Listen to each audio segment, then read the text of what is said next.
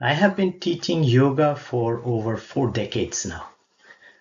One of the very first questions that people ask is okay, what time should we do yoga? Now, that turns out to have an interesting scientific angle to it, what is known as postprandial hyperemia. That's a mouthful. But let me try to demystify all of that in the context of yoga.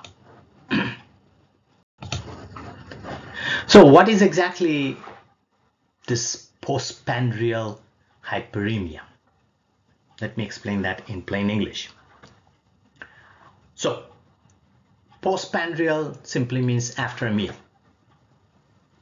The next question then is how long after a meal is after a meal? In practical terms, we are talking about between one hour and four hours. All the glucose assimilation and so on happens during that time.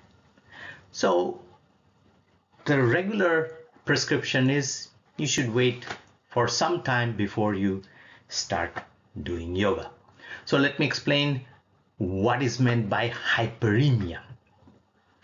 Hyperemia strictly speaking, is an active engorgement of your vascular beds inside your stomach. I'll explain that with a picture in one second.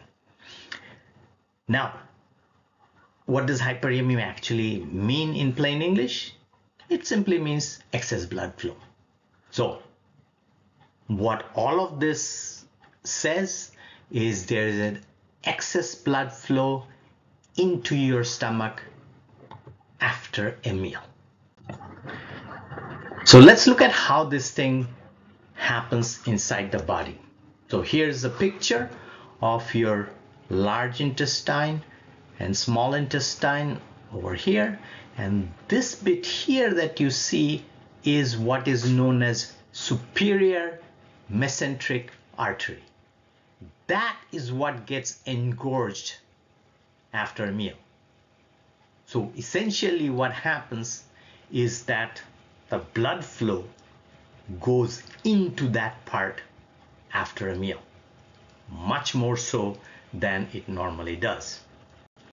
How much more so? Here's a picture explaining that. So what happens after you eat a meal? First of all, on the left hand side, you can see that your heart rate goes up by about 12%. What about the blood flow in the artery that I mentioned, SMA?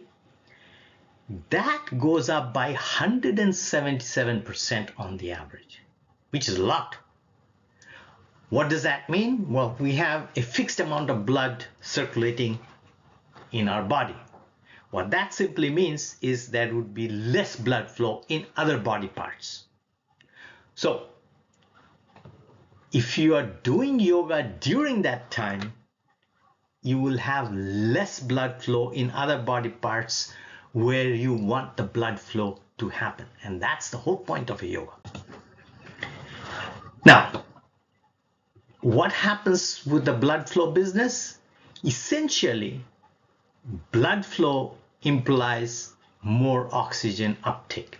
So more blood flow, more oxygen uptake. So this is the graph that shows how much that relationship holds generally in a body. More blood flow, more oxygen uptake. However, there another part of that picture that says not only it happens like that, but it also happens in a non-linear fashion, meaning that there is an end at which this thing tapers off. Namely, more blood flow does not necessarily translate into bigger and bigger oxygen uptake after a point. And that's the key.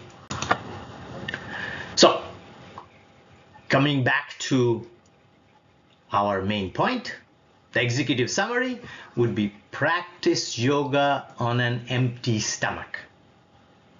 And that's our message.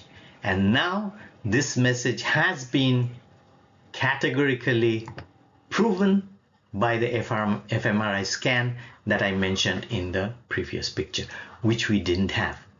All of this will be explained in my forthcoming book called Hormonal Yoga.